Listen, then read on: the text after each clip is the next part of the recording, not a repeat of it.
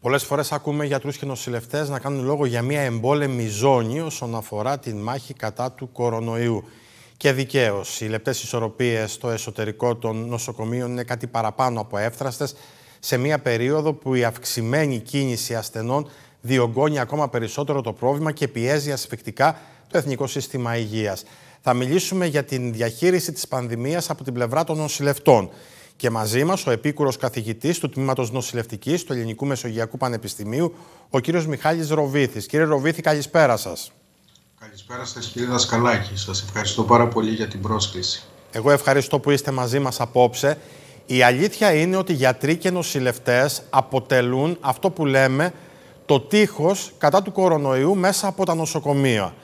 Όλοι αντιλαμβανόμαστε ότι η δουλειά του γιατρού και του νοσηλευτή αποτελούν, αποτελεί μία αλυσίδα. Αν κάτι πάει στραβά στον ένα, μπορεί να δημιουργήσει πρόβλημα και στον άλλο. Θα ήθελα ένα σχόλιο, γιατί η αλήθεια είναι και στα μέσα μαζικής ενημέρωσης δεν έχει δοθεί ο χώρος αλλά και ο χρόνος που αρμόζει σε αυτήν την ομάδα των εργαζομένων που πραγματικά βρίσκεται στην πρώτη γραμμή της μάχης μαζί με τους γιατρούς. Σύμφωνα με τα στοιχεία του Υπουργείου Υγείας, αυτή τη στιγμή υπηρετούν στο Εθνικό Σύστημα Υγείας 36.000 περίπου νοσηλευτές. Καταλαβαίνετε ότι είναι πολυπληθέστερη η ομάδα του συστήματος υγείας, είναι η ραχοκοκαλιά του και σε συνεργασία με τους ιατρούς και τους άλλους επαγγελματίες έρχονται σε αυτή την επιδημιολογική κρίση να μπορέσουν να ανταπεξέλθουν και να προσφέρουν την ποιότητα που απαιτείται στους ε, ασθενείς που έχουν την ανάγκη τους. Δεν είναι τυχαίο ότι ο Παγκόσμιος Οργανισμός Υγείας φέτος ανακήρυξε το έτος 2020 ως έτος νοσηλευτών και μειών ε, γιατί υπάρχει πλέον διεθνώς η επίγνωση ότι το νοσηλευτικό προσωπικό, χωρίς μόνο το νοσηλευτικό ο πλανήτης δεν θα είχε απάντηση στην πανδημία. Και μάλιστα ανέδειξε μέσα από όλη αυτή την ε, κρίση την επιδημιολογική, τη σημασία της ισότιμης συνεργασίας, τη σημασία της διεπιστημονικότητας, τη σημασία της ομάδας για να μπορέσει να ανταποκριθεί σε αυτή την κρίση. Ξέρετε, η, η καθημερινότητα του νοσηλευτικού προσωπικού δεν έχει, πάντα είχαν απαιτητικό ωράριο, πάντα είχαν συνεχιζόμενες βάρδιες, πάντα η επιβάρυνση και το ψυχικό φορτίο ήταν ιδιαίτερα αυξημένα σε αυτό το επάγγελμα και οι εργασιακές συνθήκες δεν ήταν ποτέ ιδιαίτερα ε, καλές ε, στην Ελλάδα, αλλά η ψυχική ευεξία και η αντοχή των επαγγελματιών υγείας είναι θεμελιώδου σημασία στην προσπάθεια να ξεπεραστεί η πανδημία και να αντέξουν τα συστήματα υγείας. Ξέρετε κάτι κύριε καθηγητά, ναι. αυτή η διαχείριση της κατάστασης όσον αφορά την πανδημία έχει και ένα βασικό χαρακτηριστικό που σε νορμάλ καταστάσεις δεν το έχει. Δηλαδή, όλοι αντιλαμβανόμαστε πόσο σημαντικό είναι το έργο του νοσηλευτή. Όμως αυτή τη φορά εργάζεται μαζί με τον γιατρό, μαζί με τους γιατρούς, φοβούμενος και για την δική του υγεία. Και δεν είναι λίγα τα περιστατικά και σε επίπεδο Κρήτης, γιατρών και νοσηλευτών που έχουν νοσήσει από κορονοϊό. Άρα αυτό είναι ένα θέμα που από μόνο του δημιουργεί ένα πρόβλημα φόβου στη διαχείριση της πανδημίας. Αυτοί οι άνθρωποι θα πάνε στα σπίτια τους μετά. Έχουν οικογένειες, έχουν δικούς τους ανθρώπους. Ακριβώς. Το Διεθνές Συμβούλιο Νοσηλευτικής την προηγούμενη εβδομάδα ε, έδωσε στη δημοσιότητα τα αποτελέσματα από 138 χώρες σχετικά με το νοσηλευτικό προσωπικό το οποίο ε, τα αποτελέσματα έδειξαν ότι υποφέρουν από εξάντληση, κατάθλιψη και διαταραχές μετατραυματικού στρες. Και το στρες κυρίως των νοσηλευτών που εργάζονται σε μονάδες COVID που διαχειρίζονται ασθενείς έχει να κάνει τόσο με τα μέτρα ατομικής προστασίας. Καταλαβαίνετε ότι το να είναι τόσες ώρες με μία ε, φόρμα η οποία του προκαλεί εφίδρωση, αφυτάτωση, εκτός από τη σωματική εξουθένωση, απομόνωση, υπερεπαγρύπνηση αν επαρκούν τα μέτρα και αν ε, ε, πραγματοποιεί την ορθή χρήση τους έχουν το φόβο τους όπως όλοι οι άνθρωποι για το κίνδυνο μόλυσης για να μην μεταδώσουν την ασθένεια στον ασθενή τους, στους συνεργάτες, στην οικογένεια και στους φίλους. Ε, έχουν την ανάγκη να διατηρήσουν υψηλά στάνταρ σε συνθήκες που δεν είναι πάντα αυτό απόλυτα εφικτό. Άρα όλη αυτή η ψυχολογική και σωματική επιβάρυνση έχει σοβαρές επιπτώσεις ε, σε πολλά επίπεδα όσον αφορά την υγεία τους.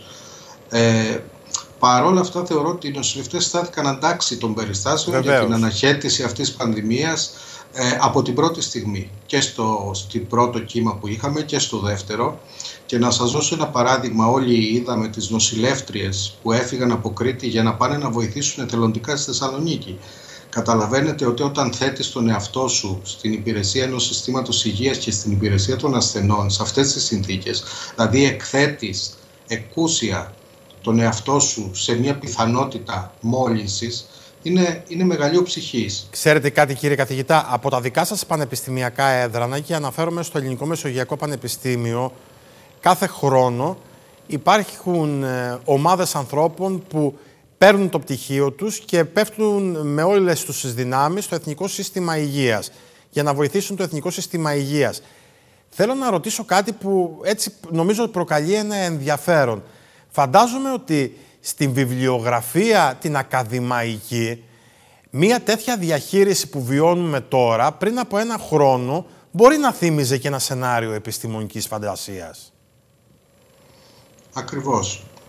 Ε, αυτή η πραγματικότητα τώρα και στην ακαδημαϊκή, στη βιβλιογραφία διεθνώς, ε, κάθε μέρα παράγονται ένας απίστευτα μεγάλος αριθμός μελετών για τις επιπτώσεις και στο, στους επαγγελματίες υγείας αλλά και στο γενικό πληθυσμό αλλά και τους τρόπους που θα μπορούσε να αντιμετωπιστεί γιατί παρόμοια είναι τα προβλήματα σε όλες τις χώρες του κόσμου.